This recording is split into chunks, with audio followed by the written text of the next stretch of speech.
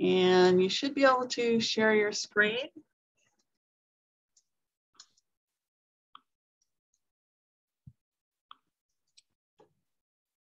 Can you see my screen? Yeah. Wonderful. All right. Okay, great. All right, um, sorry, this is very casual. You introduce yourself. yeah, sounds good. Um, so thanks for for inviting us. Um, I'm Natalie Christian. I'm an assistant professor here at University of Louisville in biology. Rachel, do you want to introduce yourself too? Sure, I'm Rachel Pigg. I'm also in biology. Um, and so we are presenting on some work that we've been doing over the last year, thanks to um, an INBRE Cure Award. Um, so we're talking about how we have been integrating molecular biology and ecology through a soil microbiome cure, our course-based undergraduate research experience. Um, and before we get started, I want to acknowledge the other key personnel on this project, Mikus Abolins-Abols and Jeff Masters, who are our co-instructors for this course that we'll be talking about, uh, as well as um, the undergraduate and graduate teaching assistants that are part of this course, um, our department chair, Perri Eason, um, and our, our funding source. Um, so if you're not familiar, course-based undergraduate research experiences um, are a way of getting more undergraduate students involved in research um, during their undergraduate tenures. Um, so we, we know from the literature and probably just our own sense of working with undergraduates that when they have research experiences, it improves their retention in their major and in school. Um, it promotes, um, at least in the case of STEM fields, scientific literacy and reasoning, senses of belonging, um, and also increases their uh, probability of pursuing STEM related careers. And so undergraduate research experiences can be really formative and really important for students. Um, but we face this problem where we have a difficulty in getting all undergraduate students doing research. Um, oftentimes, they're limited by the number of positions that faculty have in their labs. Um, lots of students work um, while they're in school, and so they might not have time to also pursue research um, or just don't know about the opportunities that they have in, in getting involved in faculty research. And so cures or course-based undergraduate research experiences are these sort of alternative opportunities where we can actually create a real research experience inside, embedded in a class, embedded in a course that students enroll in, um, so that we can expose a greater number of students and a diversity of students to real, authentic, inquiry-based research. And a lot of that happens in upper level classes, which makes sense because these classes are more specialized. Um, you have fewer students enrolled, and so it's easier to, to develop these opportunities. Um, but in undergraduate intro courses, you really hit a huge body of students, maybe when they need help the most, when it's most crucial that we retain these students in their early careers. Um, we also have this real need in our department to increase retention in the major. And because cures are uh, shown to improve this, um, we thought, let's try that out. Let's integrate a cure into our undergraduate curriculum and let's hit the, that, first, that first year of biology education. And so our overarching goal um, was to completely redesign our introductory biology laboratory course here at U of L. Um, and so this used to be a one semester course. We've changed that to be a two semester sequence. Um, where in their first semester, students, um, you can sort of see our, our outline here, um, start a cure where they are involved, being involved in molecular biology um, and learning about soil chemistry and the soil microbiome and then connecting that in the second semester uh, to a, a, second cure on biodiversity um, and where they're actually really working on scientific literacy skills like building hypotheses and analyzing data and learning how to present that um, in, a, in a written form. Um, and so our, our aims for the grant that funded this work or the start of this work um, was sort of, we had three specific aims, three angles that we wanted to look at. The first, which is what we'll be talking about most today, um, was just overhauling this course, completely redesigning this course from the bottom up. Um, but then we also wanted to do scholarship associated with this, um, where we could assess um, or prepare undergraduate students for a future in science and also assess if we were doing that. So assessing how our, our cure was improving things like competency and autonomy and sense of community in the sciences. Uh, and then also because this course involves a lot of graduate student uh, teaching assistants, we wanted to prepare those grad students for a potential future in education, build their pedagogical toolkits, um, and also assess how we were doing at that.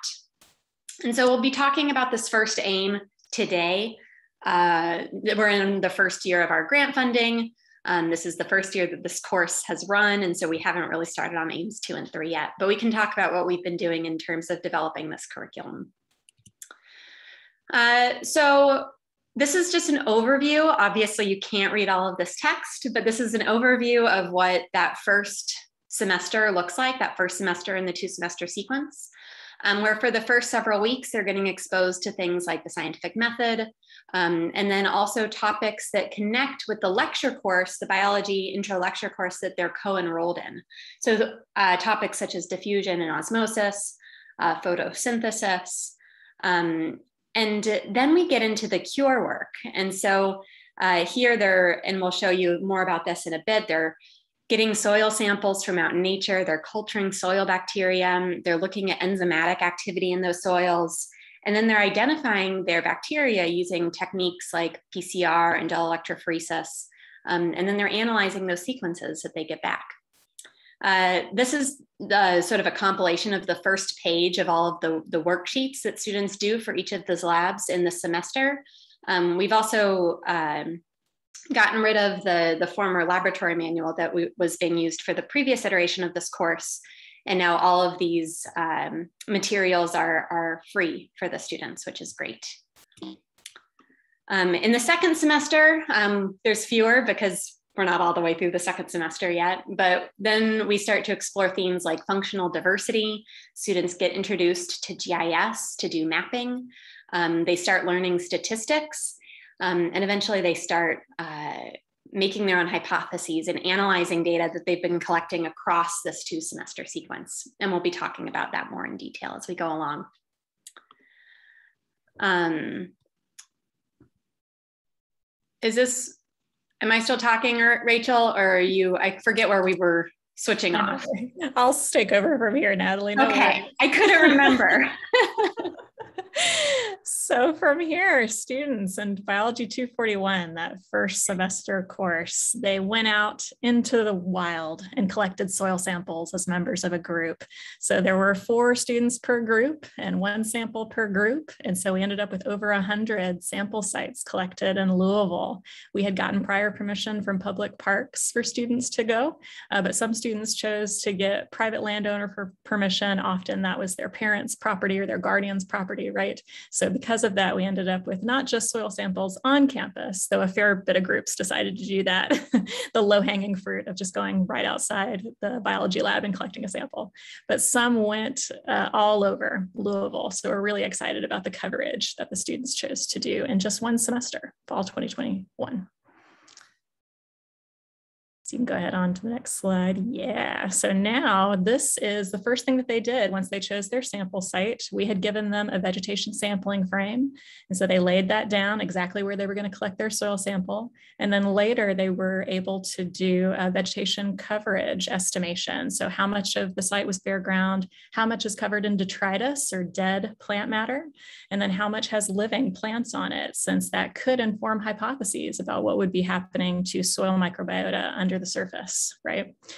Also, while they were outside, other than just taking this picture, they ended up taking lat and longitude coordinates for us. Uh, they had instrumentation with them so they could take soil pH, soil moisture, and light intensity metrics too. They input all that metadata for us online using Microsoft Forms. And then once they got back into the lab with their sample, just like Natalie mentioned, they analyzed catalase activity. It's an enzyme that you can use to approximate microbial abundance in the soil. And then later this semester in 243, they use that same soil sample to figure out functional diversity. So how many different types of microbes do they have in there based on what they eat in this uh, tool called an ecoplate that's available for them to use. And then finally, at the end of 241, they also were able to isolate some colonies to figure out exactly what species of bacteria might be living in all these soil samples too. And so 94 samples of the many that they collected were great samples to submit for Sanger sequencing at Eurofins. And most of those samples, many of them, more than half, came back with really clean uh, data like this that the students were able to score. So it was excellent work by those students.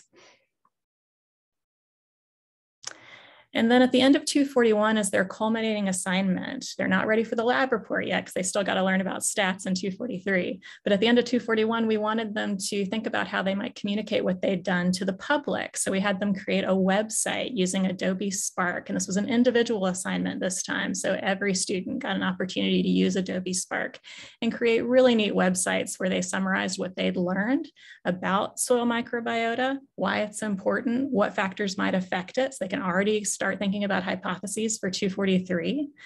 And then they went through the methods. So, where did they collect their sample? What was their sample site like?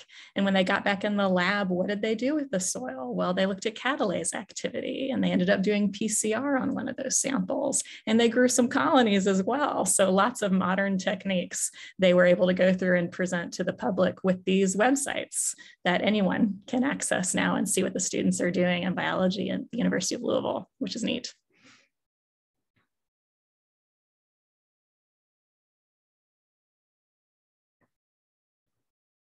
We'll let you go on to the next slide. There it goes. and then biology 243. So now we're ready for hypothesis testing. And so they're given not just their soil sample data, but the data across all of the other student groups to bump up to a broader scale and think about what patterns do we see across sample sites and differences in microbial abundance and microbial diversity and what factors could be explaining those differences among soil samples in abundance and diversity. And so we had them visualize different uh, metrics that they thought might influence that diversity using GIS. So QGIS is freely available and can work on several different computer platforms. So not just uh, PC computers um, like the ArcGIS pay to play software.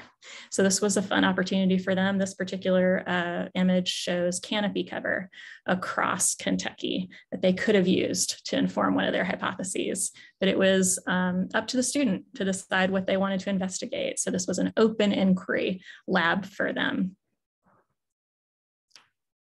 And then once they figured out exactly what variables they wanted to test to determine if they explained any of the variants they were seeing in microbial abundance and microbial diversity, we gave them access to R via this great introductory level um, website that one of our colleagues, Mikus, developed using the Shiny app in R. So all students had to do was select the correct statistical test. They didn't need to worry about learning how to program or code in R just yet. We'll save that for upper level courses.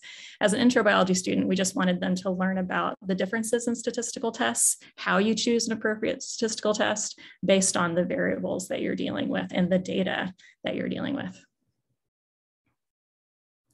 And so here's one of the graphs that they could have made. They could have hypothesized that percent detritus or dead matter uh, on the sample site would explain uh, microbial abundance as estimated by catalase activity.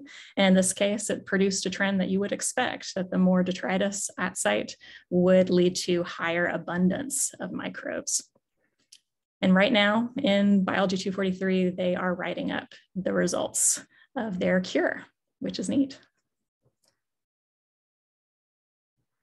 So that's aim one. We've made some good progress towards creating a curriculum that uses modern tools for these students to test original hypotheses about uh, soil microbes. And now we're moving into thinking about two and three. As we move forward in this project, we want to assess the development of students towards their goal of becoming biologists, right? We want to make sure that their confidence has improved, they have learning gains that are marked. We also want to make sure that the graduate students are making gains too, if they're interested in a future career in education. So we're measuring that as well. And how we're measuring that is pre and post survey data. So we took pre surveys and we'll take post surveys soon and measure the gains across our attitudinal surveys uh, in confidence and proficiency in biology for our undergraduate students and our GTAs were curious how their opinions about teaching in this way uh, has changed as they've experienced it firsthand through leading this cure. We also have undergraduate teaching assistants that we're interested in assessing too in the future. Um, they are taking another course, Biology 430 or 501, where they learn about uh, modern teaching techniques um, and best practices in teaching in STEM. So in the future, we might assess them as well to see how their experience has informed them and helped their development. And I'll, I'll add that I think we've um, underestimated here the number of undergraduate students involved in this class so far. I think it's closer to a thousand after the first two semesters. So we've really been interacting with a lot of undergraduate students. Yes, for sure. Awesome. And with that, we would like to ask if there's any questions from all of you. That's fantastic. I just had one like uh, question about, so you mentioned you did your sequencing at Eurofins and I was wondering, had you talked to the genomics core?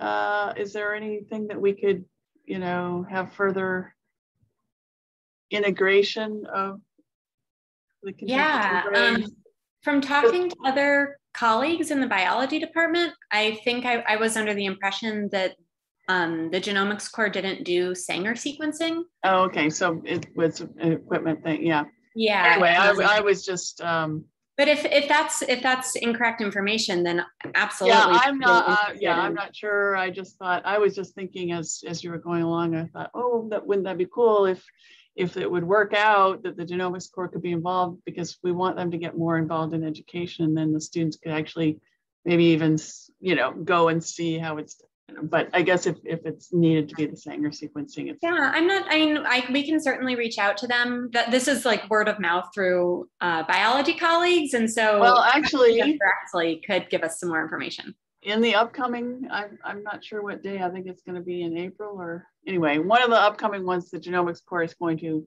present. So maybe if you could join, then you can add, we can see.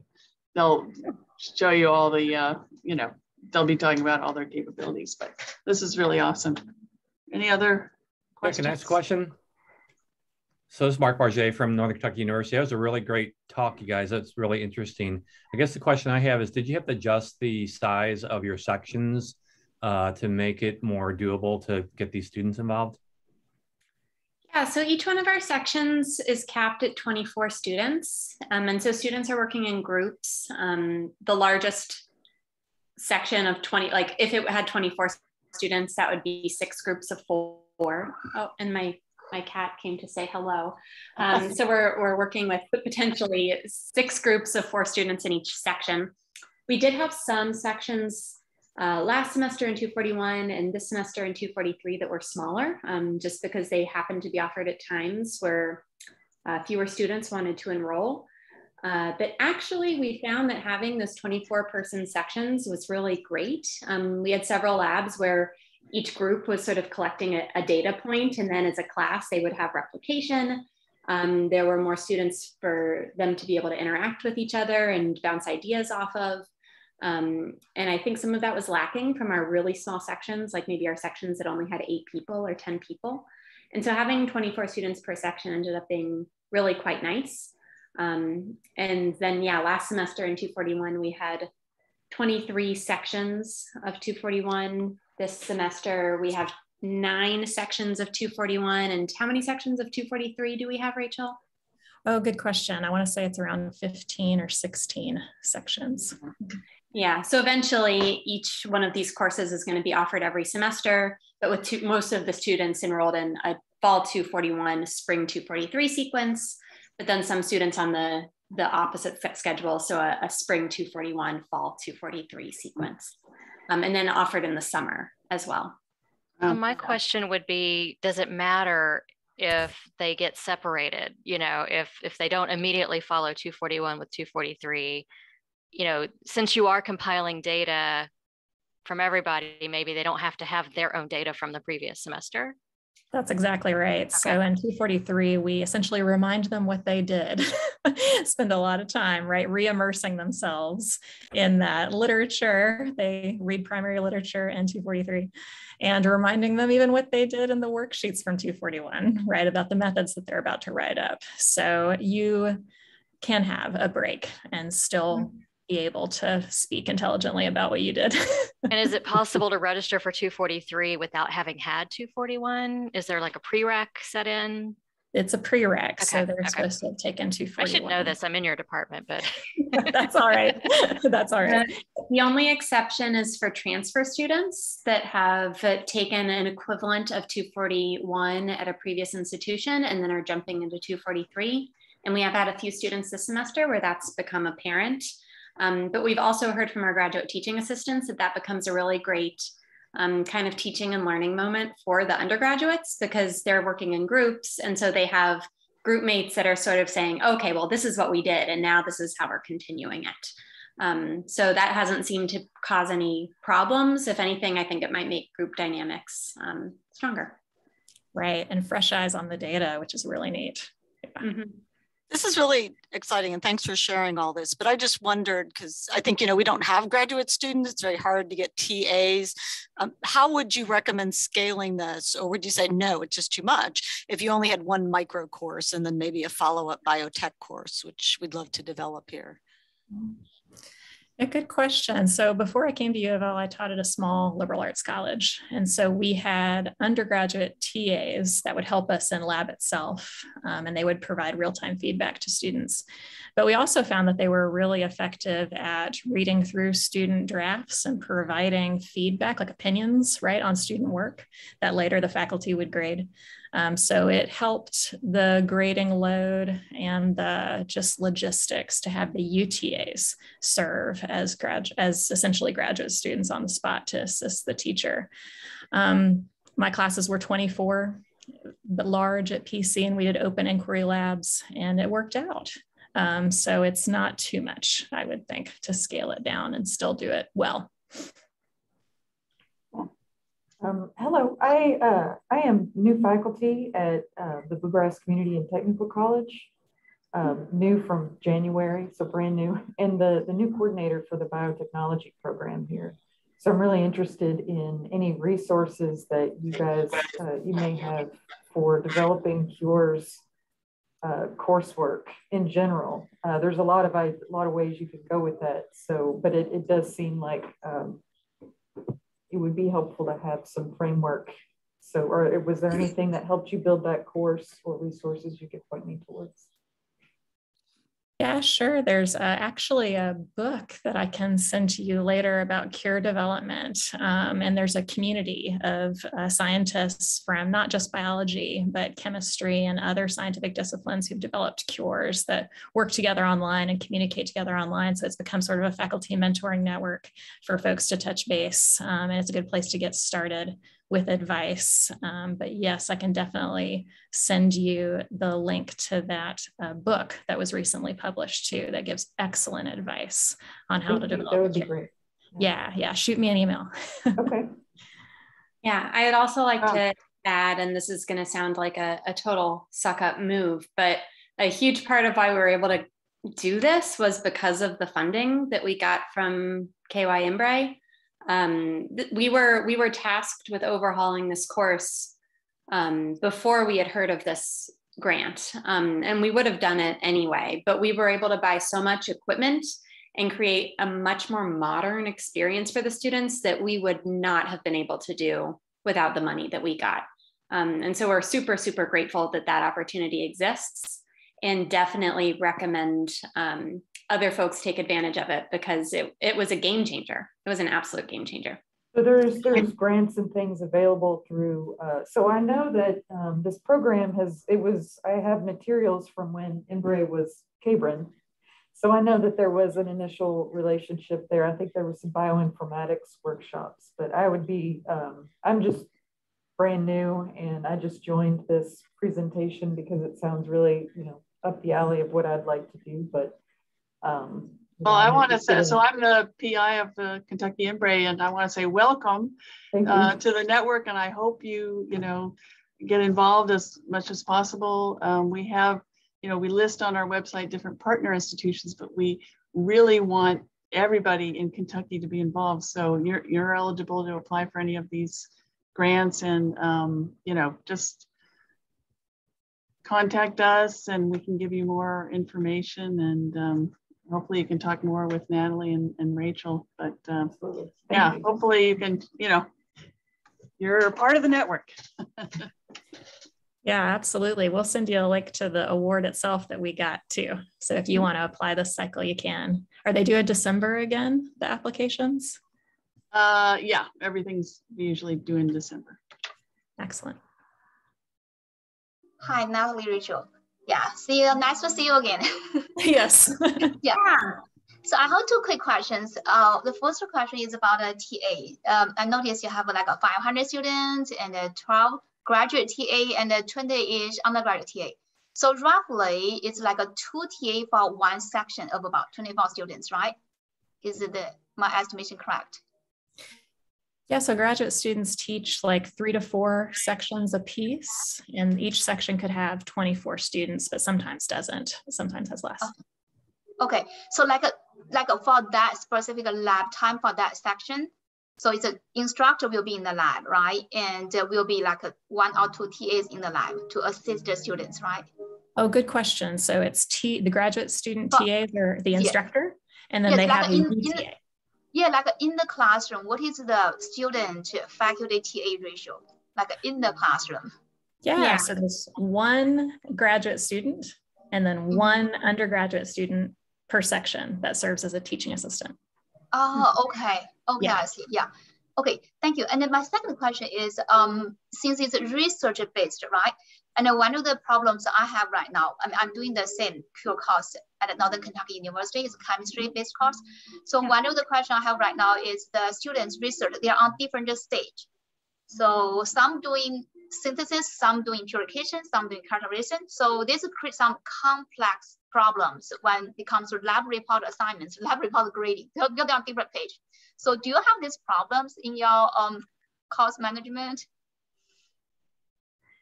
Good question. So we've tried to keep everybody on the same pace, but there's certainly some groups each week that take uh-huh. longer than others sometimes, right? Need a little bit more assistance than others. We have okay. a one thing that's we found that's helpful to try to keep track of those group dynamics mm-hmm. right if mm-hmm. there's anything that we need to know about right uh, we do a lot of surveys so for instance at the beginning okay. of the course we do a survey to identify those students who are transfer students right who may not have had 241 we identify them right yeah. away if they need us to step in um, we also reach out midterm to make sure groups are functioning okay if they have any group members that are feeling behind, right? Or if all of them feel okay. behind, we need to step in. Um, so yeah, yeah, surveying yeah. throughout might help keep everybody on pace. What else do you think, Natalie? What else have we done to keep folks together? Yeah, I mean, I, I think that I think you covered it. I also think that maybe there's just like a fundamental difference mm-hmm. here between these two classes, between what we have and then the chemistry class that you have set up. Because we we don't have students that are doing these drastically different steps whether you mentioned synthesis and other other things yeah they're, so, they're all doing their more independent projects for our students mm-hmm. it's independent in that they're developing independent hypotheses but they're working in similar ways and on a giant data set that they've compiled kind of across the course and so i think it's just kind of like fundamental differences in the in the way these two courses are are operating and that it sounds like you have this sort of dynamic situation that we just haven't had to to deal with that same sort of um, challenge just because our students aren't being um, challenged in that same kind of way. Yeah. Okay. Okay. Yeah yeah yeah. Yeah that makes sense. Yeah. So i think i think in my case we have to purposely let them stagger out for this instrument usage so they're not like all going for one instrument that way yeah Gotcha. Whereas our students, it's like, okay, everybody is running polymerase chain reaction this week. Everybody is running gel electrophoresis this week. And so it's it's not exactly the, the same. Thank you very much. Thank you. Yeah. No problem.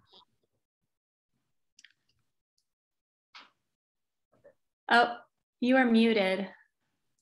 Yeah, sorry, I, I really think we should move on. I, I love all the great conversation, but we should move on to our next speaker, Kabede. Sure. Sorry. Kabede. Yep. Sorry, I always mispronounce. Oh, no, no, no problem. It's okay. Yeah, Can you introduce yourself or this is Yeah, super the- casual? excellent. So this is Kebede Gemene. I'm from Northern Kentucky University, a chemistry professor. Uh, I'm doing research in sensor development. I'm gonna say a few points about my research. Okay, great. Are you, you have a screen to share? Yeah, sure.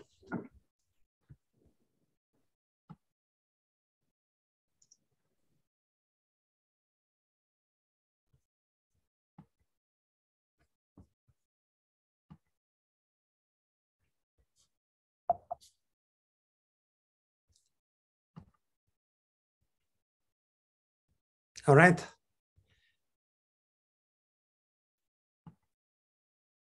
Can you see it? Looks good. Okay.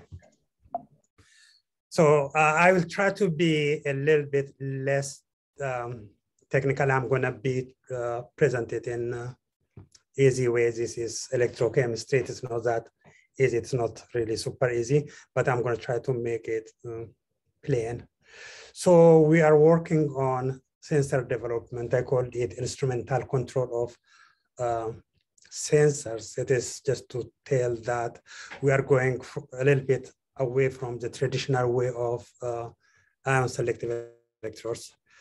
So the research objective all over total uh, objective of, of our research is to develop sensors, specifically electrochemical sensors for uh, applications in medicine and clinical and biomedical analysis. So I'll say why is our sensor important? Why do we go after this? Uh, even though it's my uh, specialization, I'm very, very interested in it too. So just let me say the advantages of electrochemical sensors. So normally biomedical uh, measurements involve, or just we do biomedical measurements for diagnosis and treatment of diseases. So this measurement must be very accurate and they have to be precise and uh, fast. If possible, they have to be made online. So another thing is we do measurements, normal biomedical uh, measurements in complex mixtures, complex samples such as blood, uh, cell tissue, cells, tissues, and the like. And therefore, what we uh, our sensor must be selective to what we intend to measure. Overall, if it is a list of a lot of list of advantages of uh, ion selective electrodes, our electrochemical sensors, I don't want to read this all they are selective, sensitive, fast. If we come to this end, it is in situ detection. It's possible to detect in situ. So uh, Professor Marco there, he was using electrochemistry to uh, measure ions and uh, animals. So it's possible to miniaturize them. Very small sensors can be made and they can be uh, used in, for in vivo measurements. So why instrumental control then? from the traditional chemistry, from the, the, traditional measuring protocol, what are we changing and what are we trying to develop? I'm going to focus on that.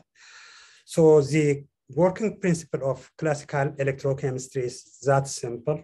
It's just like batteries that we use. So we have a reference electrode which provides a constant voltage and an selective electrode which provides a potential as a function of the sample uh, concentration of the uh, sample in the solution. And the key point here is the membrane, which is selective. When we talk about ion selective electrodes, we mean ion selective membranes. So it is basically this membrane which functions all of the work, okay? So classically, this measures potential under zero current conditions. Look, we are not measure, uh, applying any current the potential develops because of the concentration of the ions in this solution. So potential difference will happen between the working electrode and the uh, reference electrode. We measure that potential here, and that gives us the concentration of the analyte we are looking for. So the limitation of this that we are trying to fix is that this is limited to chemical selectivity. Any selectivity advantage of it is based on the membrane we use. Just the chemistry of the membrane is the factor. So how can we input or add instrumental control on the selectivity? That's what we are trying to do in my research.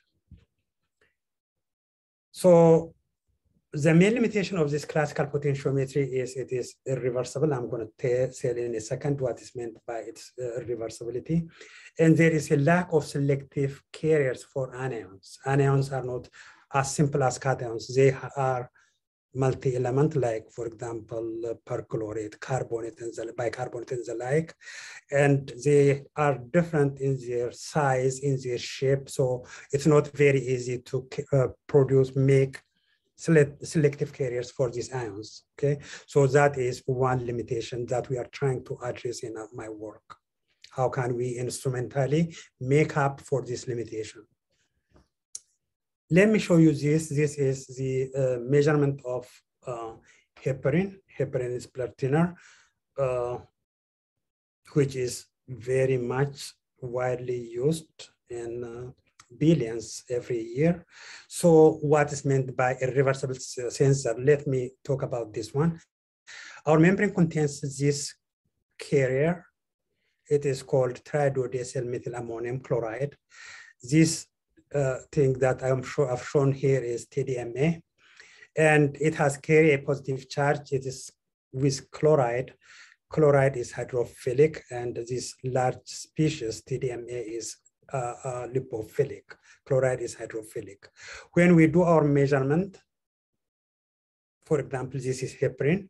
Heparin is gonna go to into the membrane and it displaces the chloride. The chloride goes out, the heparin stays in heparin is by far more lipophilic than chloride, and therefore it prefers to stay in the membrane.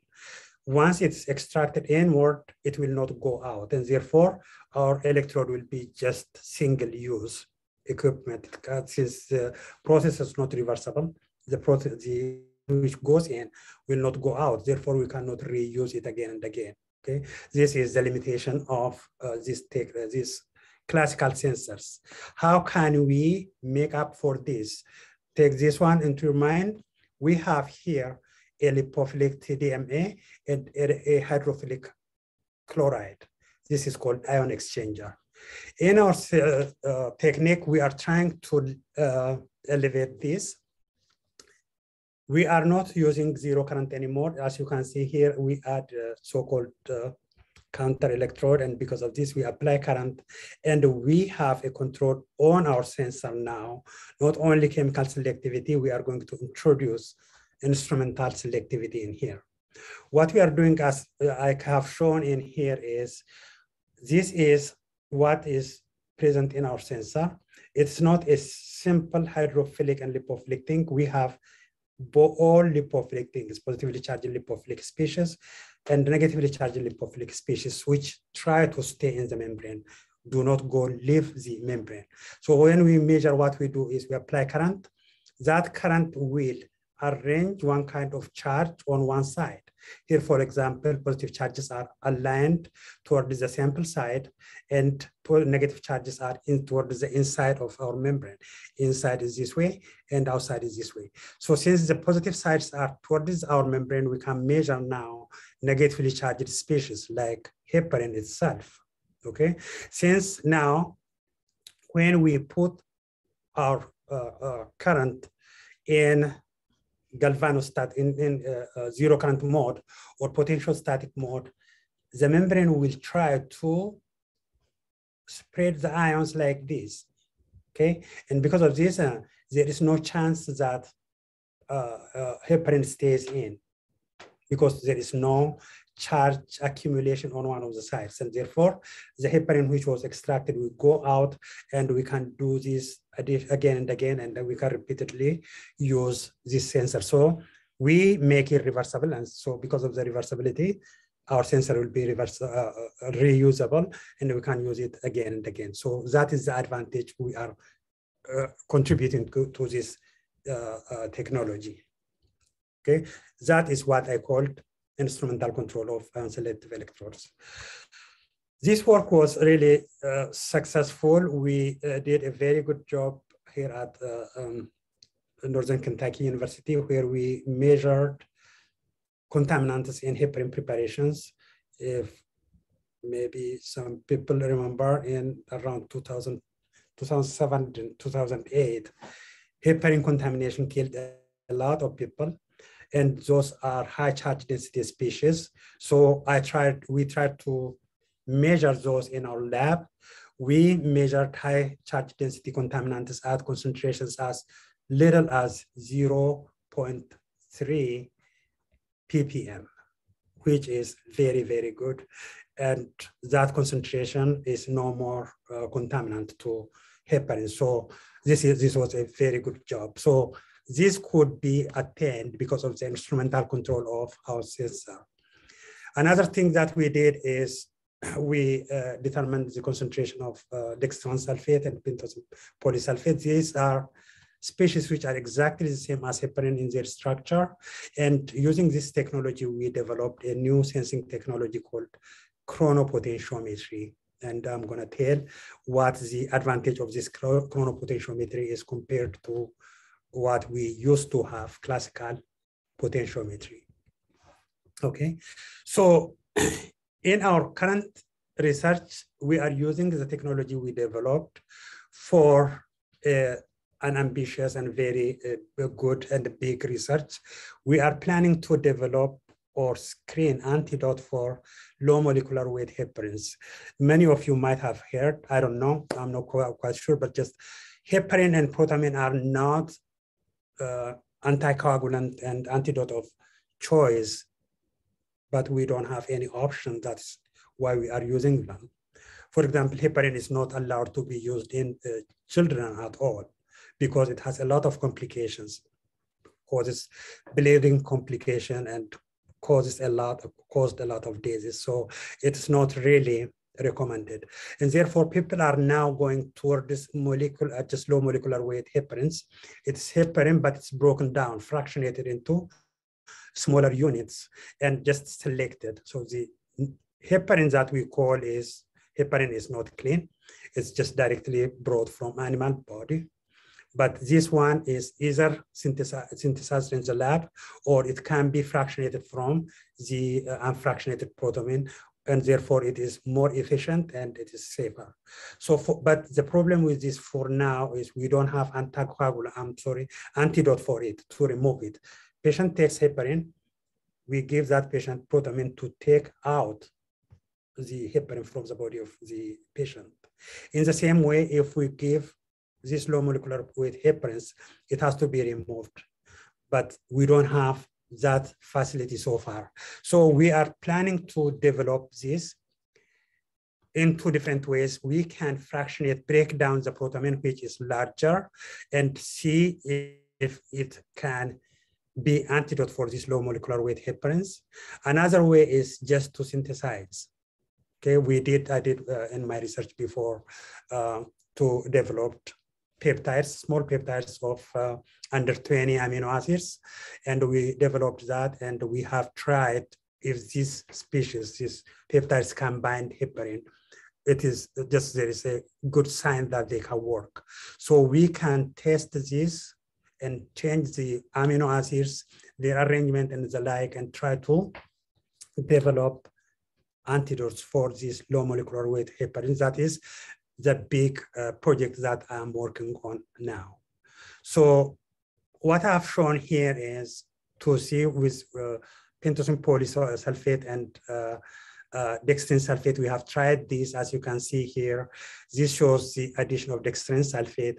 When we add protamine into it, the, it is reversed in this direction. You can just look at this slope and this slope to save time. What we can tell is that we can bind protamine to pentosan polysulfate and take it out of the body of the patient. So in the same way, we can try it for low molecular weight heparins. We can synthesize or we just, we are not synthesizing. We uh, just uh, uh, design the structure of the peptide and send to peptide companies. There are a lot of uh, peptide companies which produce, make it as you order. So we can order those and try if they can be used for low molecular weight heparins. We can after time for sure by just adjusting redesigning the structures we can we are positive that we can have these uh, uh, efficient antidotes for low molecular weight heparins. This is one big research we are doing now. Second is direct detection of anion gap. Anion gap is one of uh, the things that is measured to uh, during whenever any patient goes to the clinic. So far, people are doing this by measuring sodium, potassium, chloride, and bicarbonate. Anion gap is given by this equation, total cations minus total anions. But these four ions are separately measured and calculation is made to calculate uh, uh, anion gap. What we have tried so far in, in my lab is that we can use our technology, which I just mentioned, in a single spot, uh, uh, in a single shot, we can measure all measurable cations and all measurable anions. And therefore, we can calculate this anion gap from total cations minus total anions. We have seen a lot of uh, good work so far, and we are planning to continue that way this is excellent work. If, it, if we are successful, that will be really groundbreaking. That is really very good uh, research. And another thing is selectivity enhancement. I just mentioned that anions do not have good uh, ionophores because of their different shapes, different sizes, and because of this, they interfere with each other. For example, in our bodies, the important ions are chloride and bicarbonate. We want to measure that for diagnosis purposes so many times. But if a patient is, for example, under aspirin uh, therapy, uh, normally aspirin breaks down into salicylate. This is strongly interfering with chloride because it is lipophilic. Okay, so it's not possible to measure chloride even in a small amount of, in the presence of small amount of salicylate. For tobacco, tobacco smokers, there is what we call as thiocyanate in the blood of people, uh, smokers. That also is lipophilic and strongly interferes. Even though these are interferents, they are very, very low in concentration. So kinetically, we can control that. We remove it from the surface of the membrane by pulling it into the membrane. And therefore, since our sensor normally measures the concentration at the phase boundary right here, we can have just pure chloride, and then we can measure Uh, uh, chloride in the presence of thiocyanate or in the presence of salicylate. So my project overall now focuses on this. And finally, what we call a simultaneous determination of extracellular and intracellular potassium. Potassium is important as electrolyte and also in the, intra, intra, in, in the cell it is a very good biomarker, especially for early detection of hypertension development.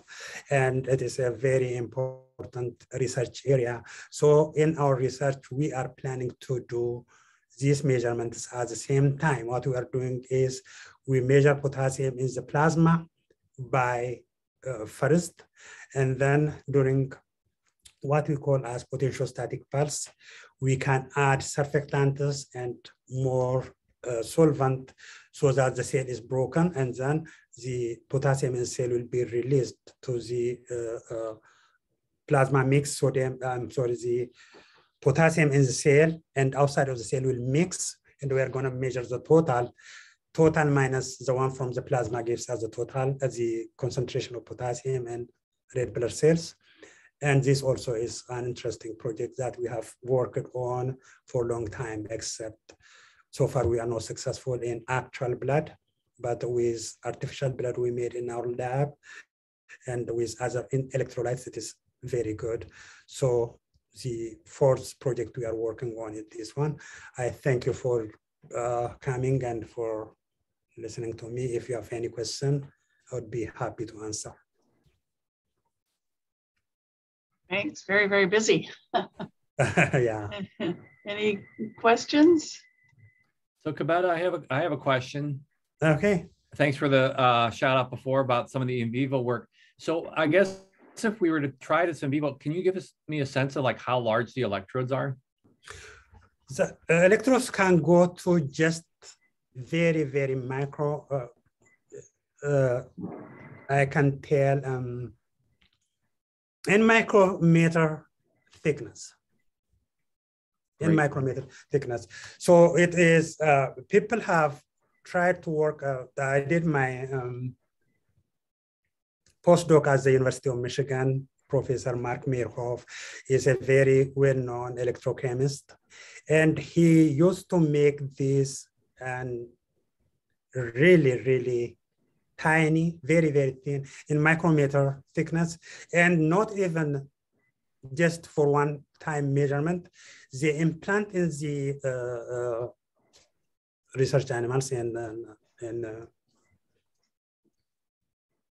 bunnies, and they keep there for days and keep on collecting data. So they can be miniaturized to very, very tiny. Great. Yeah, yeah 10, 10 microns, you said? That, that's... I'm not sure 10, but it is in micrometer. Okay, nice. Yeah. nice. Mm -hmm. Uh, Mark, also, uh, you tried, right? How, uh, how small did you go? Well, with the um, carbon electrodes we had, I'm trying to remember what the surface area was at the tips of those. Um, it was on a micron scale as well, but I can't remember exactly how many microns were um, exposed there. I'd have yeah, to so, look back at it. Excellent. So that is that much, and people even tried to do research in animal brain. So they are going very, very, very, very little small sizes uh, we are not there. We are just doing uh, research in, uh, our research is macro now. It's not that micro. Nice. Yeah, sorry, we've gone over again. Any, any other questions? I just had a quick one, Kavita. Um, so this is more of a general question. How do you get such, I mean, your, your data looks beautiful, one, maybe it's just because you're an analytical chemist, but number two, how do you? It seems like you do a really good job of publishing. What What are your secrets to you know getting those papers out the door? I know that's one of my struggles. yeah, not yeah, just uh, uh, yeah. Um, actually, this uh, pulsed chronopotentiometry technologies that we are doing now is really really powerful this technology is what uh, we started working on when I was a PhD student. And a lot of uh, uh, successful work is being done. There is a very huge interest in this area. So I, I would say that other than that, my students were, I'm not that um, lucky now. I had students who were really working like graduate students. Maybe uh, if somebody knows Simon, and uh, Emma, those students were really, really interesting and excellent students. And we tried a lot, Michael, and I see uh, just your work that is so, so successful. It might be biochemistry. Other than that, I, I see that. So uh, we just published three papers. Uh, we have maybe two or so on the line. Um, I can say Okay. I am not super, uh, uh, I cannot say that we are really very, very successful, but I can say we are kind of okay. Thank you so much, Michael. Okay, thanks. All right, well, I guess we should uh, wrap this up. So thanks, everybody. Um, this was really interesting. And we'll see you next time. I think we're gonna have a presentation by one of the cores or maybe both the cores. Thank you so much. I'm sorry I was you. not that much uh, there because it was Wednesday, my spring semester and fall semester. Uh, Wednesday was extremely busy, so Yeah. I no. wish I got the chance to attend this kind of interesting. Well, it's, it'll be recorded, so you can. yeah, yeah. Okay. Okay, All right, thank you. bye-bye. Thank you.